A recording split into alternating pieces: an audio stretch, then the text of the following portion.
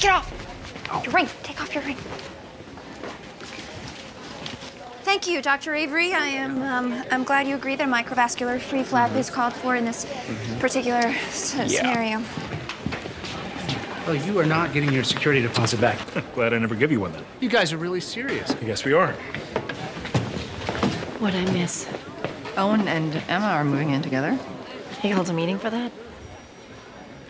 Thank you all for coming. I know you're all busy, so this won't take long.